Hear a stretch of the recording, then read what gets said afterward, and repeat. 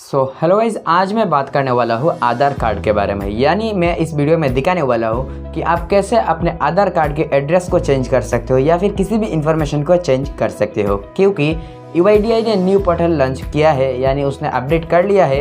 अब आप अपना खुद से आप अपना इन्फॉर्मेशन को चेंज कर सकते हो और आपको किसी भी सेंटर पे जाके तकलीफ़ उठाने की कोई ज़रूरत ही नहीं। तो चलिए देखते हैं कैसे आप अपना इन्फॉर्मेशन को चेंज कर सकते हो।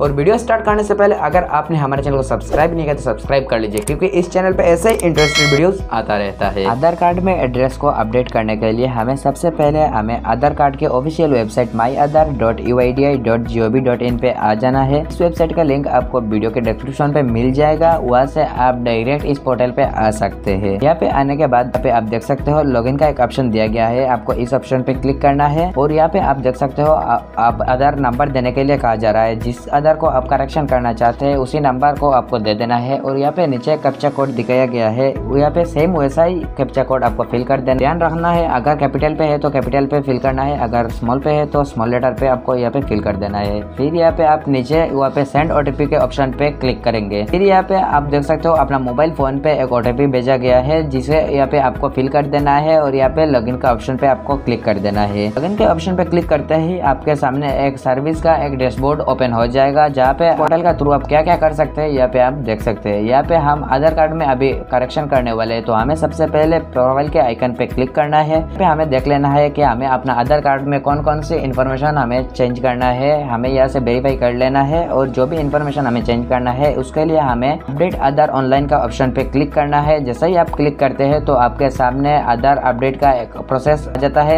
यहाँ पे आप देख सकते हैं, यहाँ पे कौन सी स्टेप पे क्या होने वाला है, यहाँ पे आप देख सकते हैं। यहाँ पे आपको अपडेट करने के लिए प्रोसेस टू अपडेट आधार का ऑप्शन पे क्लिक करना है। तो यहाँ पे देख सकते हैं, आपके सामने एक सिलेक्ट पेज ओपन हो गया है। आपके आधार कार्ड पे कौन सी इन्फॉर्मेशन आपको चेंज करना है, उसको आपको सिलेक्ट करना है। तो आज के इस वीडियो में हम आधार कार्ड के एड्रेस को अपडेट करने वाले हैं। तो हम एड्रेस पे ही आप सिलेक्ट करेंगे। अगर आप कोई भी और भी इंफॉर्मेशन चेंज करना चाहते हैं तो आप वो भी इंफॉर्मेशन आप यहाँ पे सिलेक्ट कर सकते हैं। तो हमने एड्रेस को सिलेक्ट कर लिया है। आप यहाँ पे आप प्रोसीड टू अपडेट आधार का ऑप्शन पे क्लिक करेंगे। इसके बाद आप देख सकते हो, एक पेज ओपन हो चुका है, जहाँ पे हमारा वर्तमान जो करंट डिटेल्स जो भी है, वहाँ पे दिखाया जाता है। इसमें कि यहाँ पे जो एड्रेस है, उसे पहले इंग्लिश लैंग्वेज पे दिखाया गया है और बाद में जो भी आपका रीजनल लैंग्वेज है, उस पर आपको दिखाया जाता है। यहाँ पे जो भी चीज़ें आपको सुधर करना है तो यहाँ पे इस पेज का नीचे की तरफ़ आना है और यहाँ पे आपको कंप्लीट आपका एड्रेस का जो है वो आपको फिल कर देना है। एड्रेस को सही तरह से कैसे यहाँ पे फिल करना है, वो भी मैं आपको बता देता हूँ। यहाँ पे केयर ऑफ़ के सेक्शन पे आपको आपका फादर यानी पिता का नाम फिल करना है और अगर कोई भी महिला है शादीशुदा है तो यहाँ पे आपका पति का नाम फिल करना है। तो नेम को जैसे ही ऊपर के रो में आप इंग्लिश पे टाइप करेंगे, वैसे ही नीचे आप देख सकते हो ऑटोमेटिक एक लैंग्वेज पे कन्वर्ट हो जाता है, जो भी आपका रीजनल लैंग्वेज है। जी हाँ तो अगर रीजनल लैंग्वेज पे भी आपको कुछ चेंज करना है या फिर आपको यहाँ पे सुधर करना शायद पड़ेगा तो उसे आप यहाँ पे गूगल ट्रांसलेटर या फिर दूसरा कुछ ऐप्स को यूज़ करके आप आसानी से उसे भी आप सुधार कर सकते हैं। फिर यहाँ पे आप देख सकते हो नीचे हाउस नंबर यानी आपका बिल्डिंग नेम कुछ भी आपको यहाँ पे दे सकते हो। यानी अगर आपका कोई भी डॉक्यूमेंट पे आपको अपना हाउस नंबर देख सकते हो, उसे आपको यहाँ पे टाइप करना है। अगर आपका आईडी प्रूफ पे हाउस नंबर नहीं है तो आपका आईडी प्रूफ पे जिस तरह से एड्रेस है तो उसे आप यहाँ पे फिल कर सकते हैं। यहाँ पे हाउस नंबर के सेक्शन पे आप यहाँ पे अपना बिल्डिंग नेम भी फिल कर सकते हैं। अगर आपके आईडी प्रूफ पे हाउस नंबर नहीं है, इसके बाद आप एरिया लोकेलिटी सेक्शन पे आप देख सकते हो, आप अपना कौन सी कॉलोनी से है, उसे आप सिलेक्ट कर सकते हैं, वो डिटेल आप फिल कर सकते हैं। अदरवाइज़ आप अपना गाँव का नाम भी यहाँ पे फिल कर सकते हैं। फिर यहाँ पे देख सकते हो, यहाँ पे एक लैंडमार्क का ऑप्शन है। अगर आपके घर के आसपास कोई भी लैंडमार्क है फ़ेमस बिल्डिंग है तो यहाँ पे उसे फिल कर सकते हो। ऐसे में मैं सजेस्ट करूँगा कि आपके आईडी प्रूफ पे जैसे लैंग्वेज आपका एड्रेस लिखा हुआ है, वैसा ही आपको फिल करना है। लैंडमार्क अगर आईडी प्रूफ पे नहीं है तो आप उसे ना फिल करें। अदरवाइज़ यहाँ पे जो फॉर्म है वो रिजेक्ट हो सकता है इसके बाद आपको अपना पिन कोड फिल कर देना है पिन कोड को आप जैसे ही फिल करेंगे तो नीचे के पेज पे देख सकते हैं आपको यहाँ पे अपना विलेज या शहर को आपको सिलेक्ट करने का ऑप्शन आ जाता है यहाँ पे जिस एरिया का पिन कोड आपने सिलेक्ट किया है उस एरिया का विलेज आपको यहाँ पे चूज़ कर लेना है या फिर शहर आपको चूज़ कर लेना है तो यहाँ उसे चूज़ करते हैं तो यहाँ पे नीचे आप देख सकते हो उस एरिया का जो भी पोस्ट ऑफ़िस है वो ऑटोमेटिक यहाँ पे फिल हो चुका है यहाँ पे नीचे की तरफ़ आना है आपको यहाँ पे आप देख सकते हो एक सपोर्टिंग डॉक्यूमेंट आपको अपलोड करना है जिसमें कि आप यहाँ पे देख सकते सकते हो, डिजी लकर से भी अपलोड कर सकते हैं, या फिर आप मैनुअली भी अपलोड कर सकते हैं।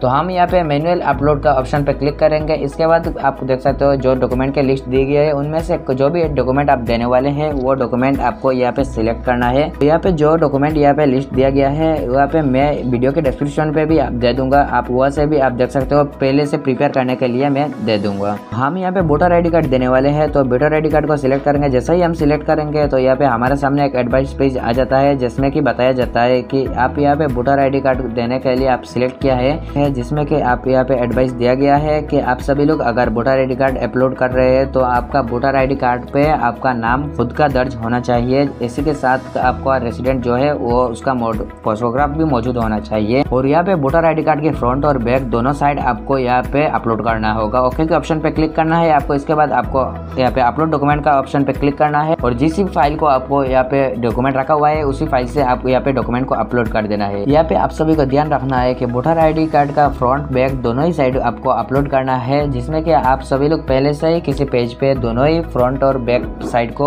आपको स्कैन करके सेट कर लेना है। तभी आप, आपको अपना फ़ोटो को अपलोड करेंगे। इसके बाद आपको नेक्स्ट का ऑप्शन पे क्लिक करना है। नेक्स्ट के ऑप्शन पे क्लिक करने के बाद भी आप देख सकते हैं, जो भी एड्रेस आपने फिल किया है, उसको यहाँ पे दिखाया जा रहा है। उसके इंग्लिश लैंग्वेज और हिंदी लैंग्वेज पे दिखाया जा रहा है, जैसे कि आपका आईडी प्रूफ पे है। तो यहाँ पे आप देख सकते हैं जिस तरह से आपने अपना एड्रेस को फिल किया है, उसी एड्रेस आपको यहाँ पे सही है या नहीं आप यहाँ पे देख सकते हैं। अगर कुछ भी करेक्शन का ज़रूरत है तो यहाँ पे एडिट का ऑप्शन दिया गया है जिसपे आप क्लिक करके उस इन्फॉर्मेशन को चेंज कर सकते हैं। फिर यहाँ पे आपको इस पेज का नीचे की तरफ़ आना है। यहाँ पे टर्म्स एंड कंडीशन का जो ऑप्शन दिया गया है, उन पे क्लिक करके आपको एक्सेप्ट कर लेना है। इसके बाद आपको नेक्स्ट का ऑप्शन पे क्लिक कर देना है। तो हमारे सामने एक पेमेंट पेज आ चुका है, जिसमें कि हमें आधार कार्ड को ऑनलाइन अपडेट करने के लिए फिफ्टी रुपीज़ का पेमेंट होगा। पेमेंट करने के लिए आपको टर्म्स एंड कंडीशन को एक्सेप्ट कर लेना है और मेक पेमेंट का ऑप्शन पे क्लिक कर लेना है। आप यहाँ पे, आप जिस भी मोड से पेमेंट करने वाले हैं क्रेडिट कार्ड डेबिट कार्ड या फिर बीम यूपीआई वॉलेट से यहाँ पे आप पेमेंट कर सकते हैं। यहाँ पे नेट बैंकिंग के थ्रू भी पेमेंट कर सकते हैं। तो यहाँ पे हम कार्ड के ऑप्शन पे क्लिक करेंगे। यहाँ पे हम कार्ड का नंबर डालेंगे एक्सपायरी सीवीवी यहाँ पे कार्ड होल्डर के नेम और यहाँ पे मेक पेमेंट का ऑप्शन पे क्लिक कर देंगे। इतना करते ही हमारे सामने पेमेंट सक्सेस कर इस तरह से कुछ ऐसा आ जाता है, जिसमें कि आप यहाँ पे देखेंगे कि डाउनलोड एक्नोलेजमेंट का